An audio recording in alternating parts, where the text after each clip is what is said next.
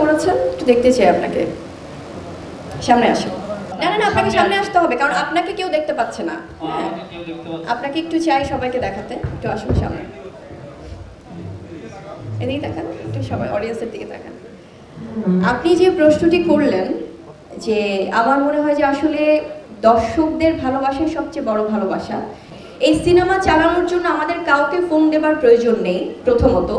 এবং I have that guts challenge you যে if you have that guts you will prove everything আপনি কোনো আর্টিস্টকে বা কোনো মুভি টিমকে নিয়ে এই ধরনের এলিগেশন দেবেন এবং সেটা নিয়ে একটা ইয়েলো জার্নালিজম করবেন সেটার বিরুদ্ধে আসলে আমাদেরকে কথা বলা উচিত। সেক্ষেত্রে আমি আপনাদের কাছে প্রশ্ন রাখতে চাই যে কাদেরকে ফোন করে কোন সিনেমা চালাতে বলা হয়েছে? তো এই কথাটা আপনি প্রমাণ করতে যেহেতু আপনি বলেছেন যে আপনার কাছে প্রমাণ আছে আপনি প্রমাণটা নিয়ে আপনি অতি শীঘ্রই আমি- আমি- আপনার কাছে আপনার কাছে প্রমাণ আছে। আপনি প্রমাণটা প্লিজ দেখান। না না না না না না। এই ধরনের সাংবাদিকতা আমি শুনুন। আপনার কাছে প্রমাণ থাকলে আপনি প্রমাণটা নিয়ে আসুন। এই ধরনের সাংবাদিকতার বিরুদ্ধে কিন্তু আমাদের ভয়েস রেজ করা উচিত। কথা বলছেন আসলে যে অনেকের সিনেমা আসবে তো সেক্ষেত্রে আমরা কীভাবে দেখছি বা এটা কোনো যুদ্ধ কিনা?